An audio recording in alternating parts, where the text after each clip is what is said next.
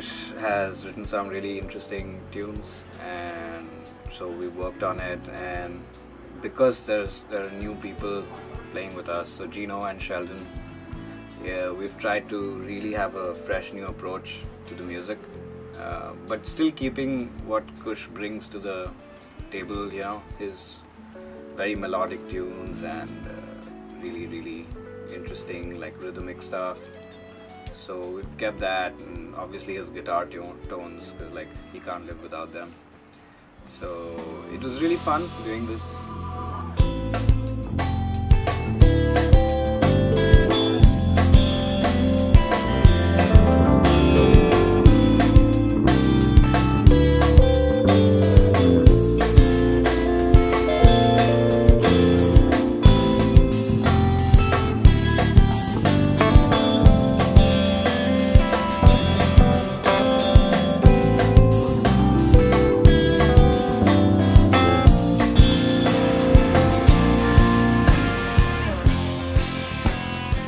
Hi, I'm Sheldon D'Silva and I'm playing bass on Kush Upadhyay's new album.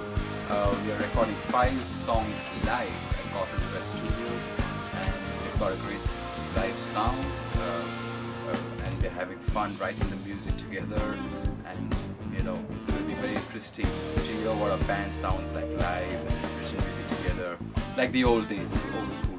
So I'm hoping you know everybody buys this music, comes to the concerts, watch these gigs, and I had a lot of fun, and I'm sure you guys will have a lot of fun too.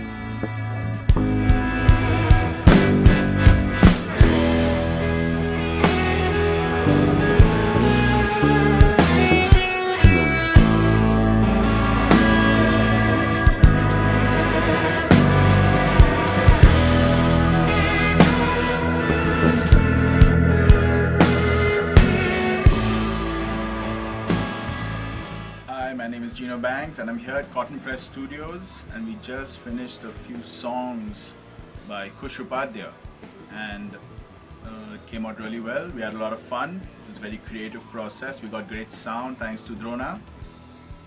And uh, we had Sheldon D'Silva on bass, Anurag Naidu on keyboards, Kush on guitar and he composed the music and I played the drums and we kind of worked out the arrangements together and had a lot of fun recording five songs in a day and it's a very special project and we look forward to playing this live and hope to see you guys at concerts.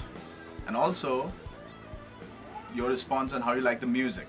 So we're looking forward to that. Thank you. Enjoy